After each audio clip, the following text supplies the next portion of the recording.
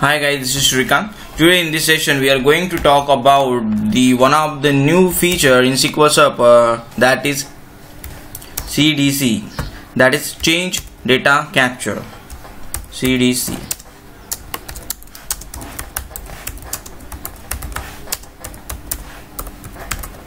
so the what exactly change data capture means? First we'll try to understand it.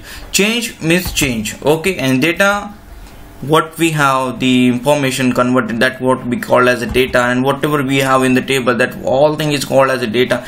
And capture is something to capture all the things at any time at any moment. So the change data capture is a, is a is a concept of capturing all the data at any time right? If today i had some data and today i'm not seeing that data what does it mean? It means something has been changed. And so i want to I want to find it out what was changed what was earlier value was there what was the change in middle and what is the present value of that. So I will get all the data I will get all the change and I will capture all the things right?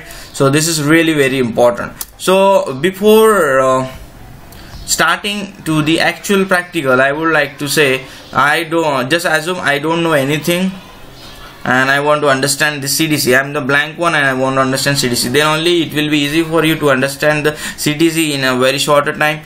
Uh, basically, it is very easy concept, but you have to understand vocabulary. So uh, it's not that much complex, but it's it's a bit bit complex I can say. But it's easy if we try to uh, listen my video carefully so there are a few steps we have to follow to understand the CDC first we have to check that is the CDC enabled on database or not. How we will check? We have one sys table and that name is sys.databases so in sys.databases we have one column called as a name and there is one column called as is CDC enabled right so when I query this database what will I see? I will see how many database we have in the server and there is one column as is underscore cdc and enabled is equal to flag okay. So right now I don't have any database on my server which where I can start my development. So I just have the report server database which I can't use and another are the system databases. So what will I do? First I will go on database and I will create one new database and the name I will give as change data capture. Right? So I'm creating this database.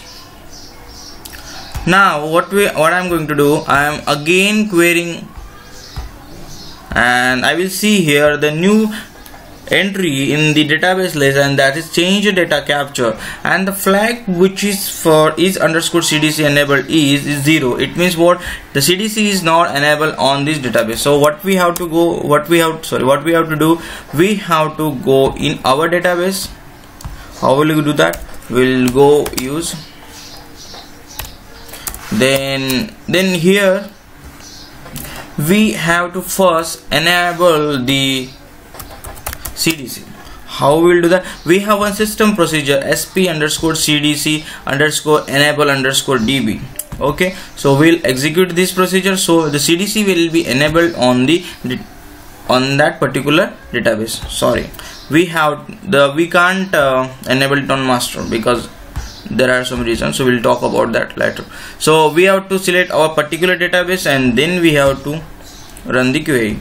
So when i execute this procedure against my newly created database that is change data capture. And again i'm querying the data on that dot database table. So what will i see?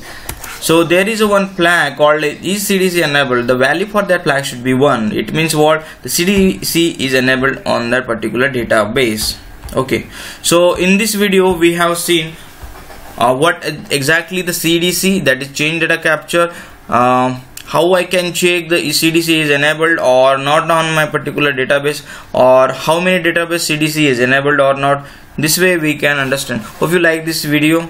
If you like this video please don't forget to share and subscribe to our youtube channel. Thanks for watching